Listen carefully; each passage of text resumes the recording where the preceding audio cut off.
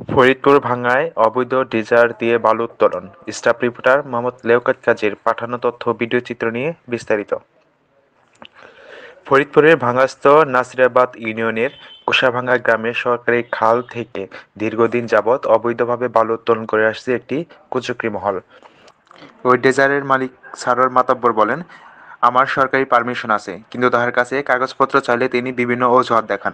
স্থানীয় সূত্রে সরকারি রাস্তার কথা বলে মালিকানা জায়গা ভরাট করেছেন। প্রভাবশালী ও কুচক্রী মহলের ভয়ে কেউ ক্যামেরার সামনে আসতে রাজি হয়নি। এলাকাবাসীর বোবাকান্না দেখার মতো কেউ নেই। এলাকাবাসী, ডেজারের আশেপাশে জমির নিশ্চয়তা নিয়ে ভাবছেন এবং কঠোরভাবে প্রশাসনের হস্তক্ষেপ কামনা করছেন। Bangla news television, Faridpur.